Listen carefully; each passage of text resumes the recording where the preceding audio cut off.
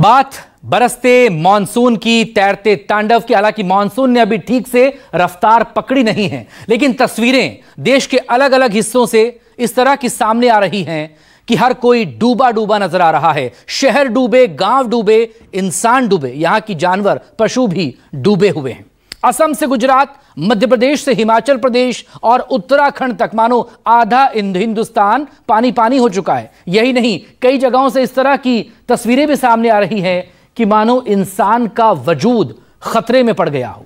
आज दिखाते हैं आपको देश में आखिर कहाँ कहाँ मचा है। यह तैरता हुआ तांडव।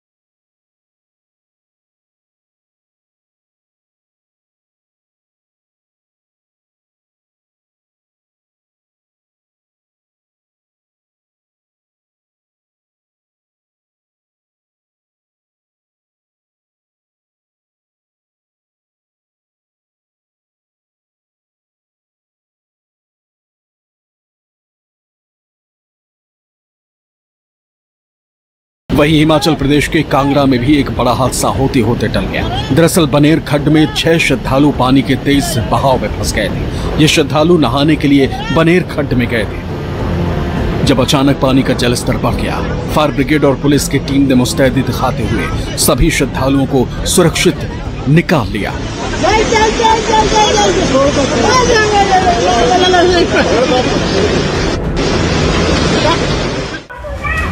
तो वही मध्य प्रदेश की आर्थिक राजधानी इंदौर से नगर निगम की बड़ी लापरवाही सामने आई।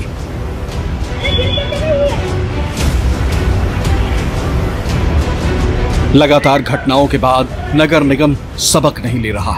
लापरवाही का ताज़ा मामला शहर के अंबार नगर का है, जहाँ बारिश के बाद एक बच्ची गड्ढे में गिर गई।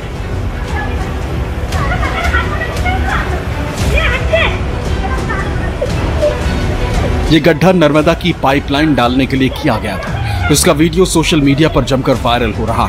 ये वायरल वीडियो 29 जून का बताया जा रहा। बदले मौसम के सबसे खतरनाक मार असम झेल रहा। बीते एक हफ़्ते से भारी बारिश, तूफ़ान जल भराव और बाढ़ ने लोगों का जीना मुश्किल कर रखा है।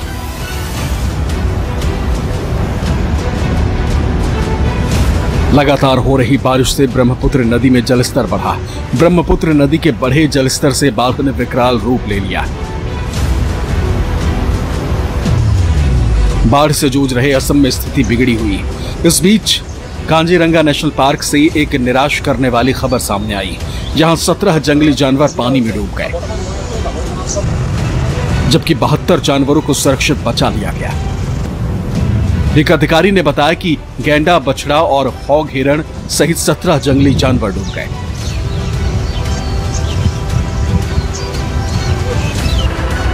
फ़िलहाल 32 जंगली जानवरों का इलाज चल रहा है और 25 अन्य को छोड़ दिया गया है।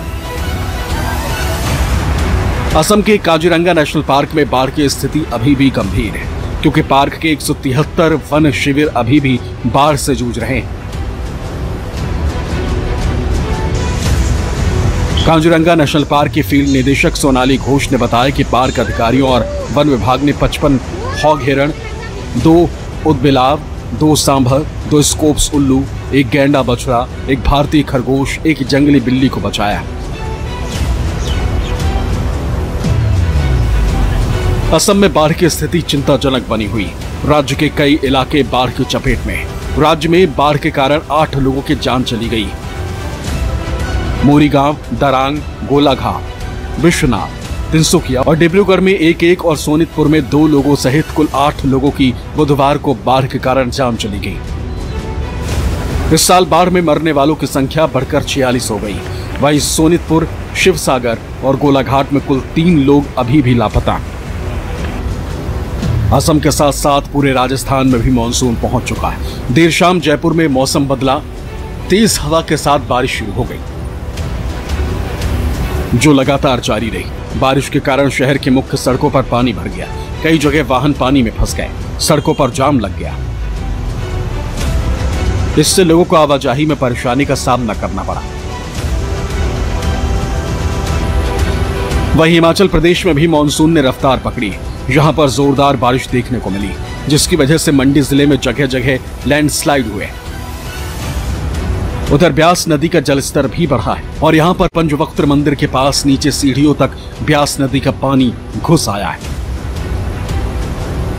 मंडी ज़िले के करसोग में बारिश की वजह से करसोग शिमला मार्ग पर बक्शाड़ से एक किलोमीटर आगे मलबा आने से एचआरटीसी और प्राइवेट बस और अन्य छोटी गाड़ियाँ फंस गईं। अभी तो जून खत्म होने के बाद जुलाई का महीना शुरू हुआ। अगस्त अभी बाकी ऐसे में सावधान रहिए, सुरक्षित रहिए। क्योंकि आसमान से आफत बरस रही, और यह आफत कब आपके लिए मुसीबत बन जाए, कोई नहीं जानता। Bureau report, news twenty